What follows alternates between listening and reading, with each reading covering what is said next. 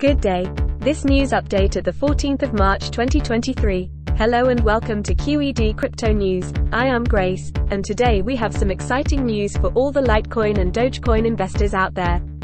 Litecoin has risen by as much as 15% in Tuesday's trading session, causing a frenzy among the investors.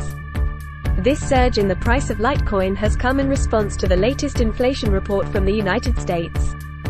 According to the monthly consumer price index, inflation has fallen to 6% in February, down from 6.4%. This news has been welcomed by the investors with open arms, as it signals that there is some relief on the inflation front.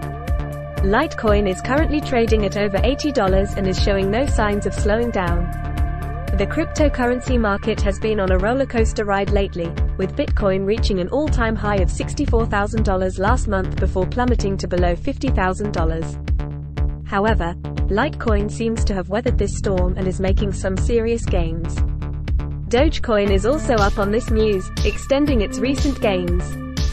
The meme-inspired cryptocurrency has seen some phenomenal growth in recent weeks and has become a favorite among retail investors. The rise in both Litecoin and Dogecoin prices comes at a time when cryptocurrencies are gaining mainstream acceptance.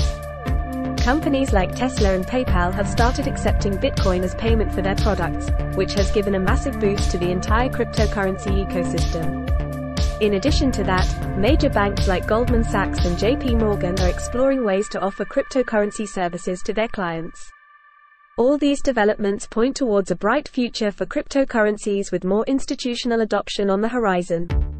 So if you're a Litecoin or Dogecoin investor, this news should bring a smile to your face.